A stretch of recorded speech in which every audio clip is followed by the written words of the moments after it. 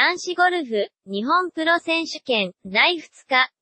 11日、千葉、房総 CC 房総、7324ヤード、パー72、賞金総額1億5000万円、優勝3000万円、午前組が終了し、第1。ラウンド首位のブレンダン・ジョーンズ、オーストラリアが1バーディー、3ボギーの74でスコアを2つ落としながら通算6アンダーの138でトップをキープしている。2打差で昨年大会覇者の宮里優作、谷口徹、長野龍太郎、稲森祐希。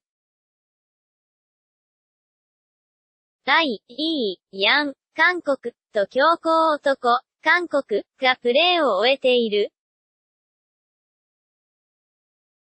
池田優太は通算1アンダーでホールアウト。2年ぶり出場の石川遼は2バーディー、6ボギーの76と乱れ、スコアを4つ落として通算イーブンパーに交代した。